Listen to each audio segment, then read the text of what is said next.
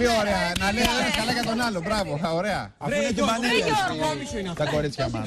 Ε, μα μου φέρεσαι να αποκάψω δύο νούμερα μεγαλύτερα. Στο τον μπακάρι τύρι. Αφού αδυνάτησες. Δεν αδυνάτησα.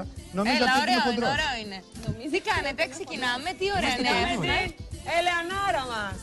Καλημέρα. Καλημέρα, καλημέρα, τι κάνετε, πώς είστε; Ωραία, εσύ. Καλά είστε; Καλά είμαστε. Λοιπόν, θα ξεκινήσουμε με το θέμα που νομίζω ότι έχει συγκλονίσει την ελληνική κοινή γνώμη. Ασχολούνται όλοι, όλα τα δελτία, όλα τα μέσα και πραγματικά έχει τεράστιο ενδιαφέρον. Για την Αλεξάνδρα Ραμπατζή, το κορίτσι αυτό, την υποψήφια Μανούλα, που είχε το θάρρος να καταγγείλει στις αρχές ότι ο εργοδότης της τη ζήτησε να κάνει έκτρωση προκειμένου να μην απολυθεί. Στο Ηράκλειο της Κρήτης, σε πολύ γνωστή κριτική εταιρεία. Θέλω να ακούσουμε αυτό το κορίτσι να το δούμε και να σας πω και τις εξελίξεις, γιατί υπάρχουν εξελίξεις σήμερα. Μάλιστα.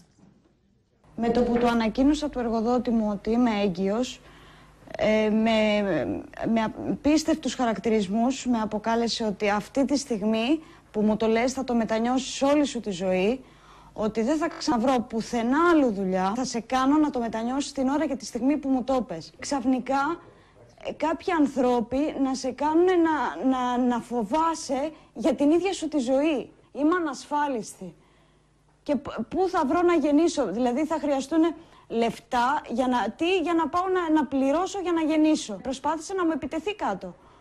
Γιατί ήταν φώναζε, γιατί ήταν απειλητικός. Ναι, φοβάμαι ακόμα και για τη ζωή μου. Είστε η τελευταία μου ελπίδα. Πόσο μαλάκα. Ρε Γιώργο, Μα Το πόσο. λιγότερο, το Έτσι λιγότερο. είναι, εντάξει. Μα είναι πόσο. η αλήθεια αυτό. Πόσο. Μα πόση, πόσο. πόση αναλγησία, πόση ξεδιαντροπιά, πόσο Θες να μου βάλει απάνθρωπος πρόσωπο μπορεί να τεσσούρο, είναι δεν πειράζει. Να κάποιος; το πληρώσω εγώ από την τσέπη μου. Μα Πόσο; πόσο όμως; Μα είναι το λιγότερο μπορείς να πεις για αυτό Το πράγμα. είδατε αυτό το πόσο; κορίτσι, γιατί χθες είπαμε Γιατί την εμείς είδηση. χθες δεν είχαμε καταλάβει. Νομίζαμε εντάξει, γιατί υπάρχουν παιδιά, το ξέρουμε τι πολύ είπε σε ότι το δουλειές. μετανιώσει. Ότι πήγαινε στη Ναι, θέση, γιατί λέει υπο- τώρα. υπάρχουν πολλά Ξεπετεύτηκε. αφεντικά που λένε εντάξει και να μείνεις έγκυος και θα το δούμε. Αλλά εδώ ο τύπος που είπε θα το μετανιώσει για όλη τη ζωή που έμεινε Έτσι. έγκυος.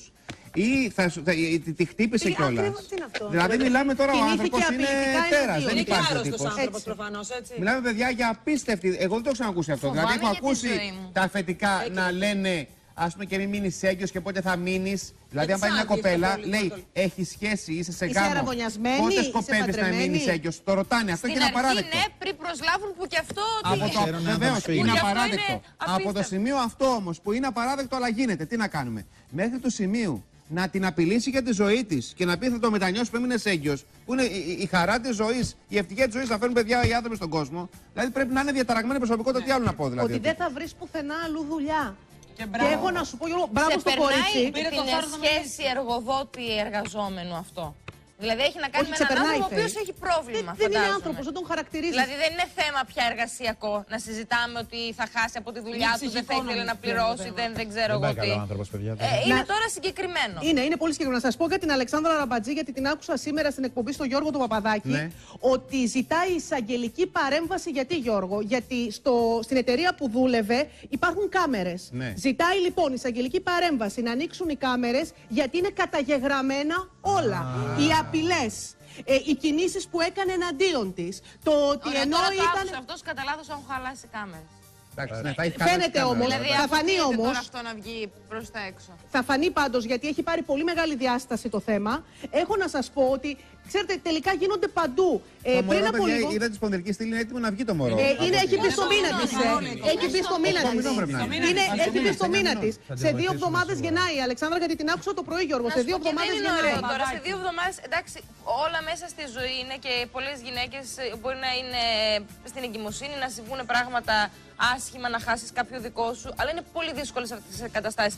Αλλά από έναν τρίτο άσχετο να πρέπει εσύ να χαλάσεις την εγκυμοσύνη Έτσι. σου. Να, δηλαδή μπορεί να Και δημιουργηθεί και προσέξτε τώρα, πρόβλημα. για τέσσερα ένσημα, μου λένε τώρα εδώ συνάδελφοι που ήταν και σε βοήθο Γιώργο το πρωί, για τέσσερα, Τέσσερα ένσημα, ένσημα. δεν είναι, είναι Είναι ανασφάλιση. και δεν- ανασφάλιση, Γιώργο, γιατί δεν τη έχουν κολλήσει τα ένσημα στην εταιρεία Για στην οποία τέσσερα ένσημα. δουλεύει. Για Τέσσερα Για ένσημα. ένα Θα τη απίστευτο. βοηθήσουν κοπέλα σίγουρα. δεν Το Τέσσερα φαντάζομαι θα τη ένσημα. διο- βοηθήσουν και θα Σίγουρα. βαρύνει και το. Όλα Θέλω να Ναι, σας ναι, πω, εννοείται. θέλω να σας πω για Αλλά να μην παιδιά, να σας νομίζουμε. πω κάτι όμως. Αυτή μπράβο της βρήκε το θάρρος και το δημοσιοποίησε. Ακριβώς, ακριβώς. Υπάρχουν πολλές περιπτώσεις γυναικών που δεν τα Ακριβώς. δημοσιοποιούν Θέλω, και την τρώνε. θέλω να δυστυχώς. σας πω κάτι γιατί μου έκανε τρομερή εντύπωση. Είναι Ε, μόνη της. Είναι.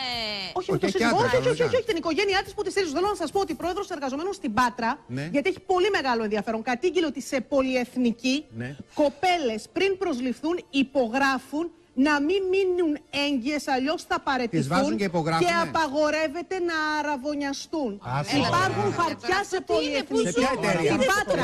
Εγώ Στην πιστεύω- Πάτρα σε Δεν πολυεθνική. Εγώ πιστεύω, Ελεάνα, δεν ξέρω αν πρέπει να το πεις εσύ, ότι πρέπει να το πούμε σε ποια εταιρεία είναι. Δηλαδή αυτά πρέπει να λέγονται, να στιγματίζονται αυτές οι, οι απάνθρωπες συμπεριφορές. Τριτοκοσμικά πράγματα Και είναι. Είναι, να είναι κάνουν μεσαίωνας. καταγγελία, οι γυναίκες Είναι φοβούνται. εργασιακός μεσαίωνας αυτό το πράγμα. και Είναι ειδικά δηλαδή να σου πω εναντίον στις κάτι. γυναίκες. Λέμε για την. Είναι ε, δουλεία λέ- αυτό. λέμε- είναι δουλεία. Έτσι. Λέμε, Είναι δουλεία. λέμε Τώρα για πρέπει την να το πούμε. Ανατολία, εκεί στις αραβικές χώρες, που Χειρότερα. αν μια γυναίκα πάει με έναν άντρα πρέο γάμου κτλ. κάνουν κλειτοριδεκτομή. Έτσι. Έτσι. Και λιθοβολίζονται Και για λιθοβολίζονται.